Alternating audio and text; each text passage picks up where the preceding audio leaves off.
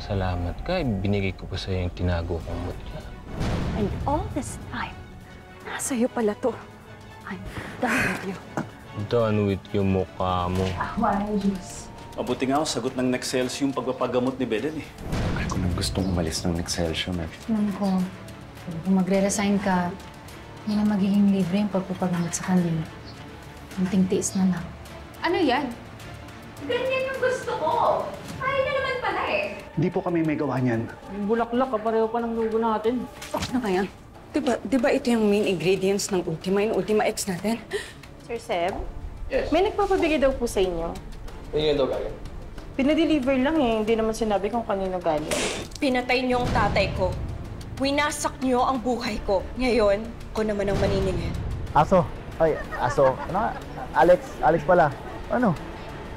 Saan pinatayo-tayo mo dyan? Yung alak ko. Bilis na.